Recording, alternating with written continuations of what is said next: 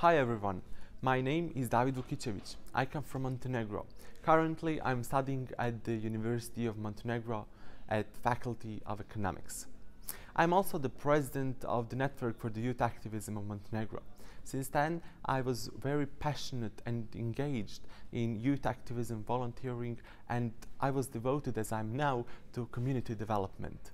Identify myself with the mission, vision, and goals of the ASECU youth, and I'm ready to uh, devote myself to these values. What I find very important in the life of every student is being active. Student activism is something that is my value. I'm also a person that has spent uh, much time on the volunteering youth activism and trying to help my peers and the community to grow and to develop new ideas that will uh, enable us to have a sustain sustainable community. I'm very uh, lucky that I've heard the uh, slogan of the ASECU Youth that says uh, uniting students today for the sustainable communities tomorrow.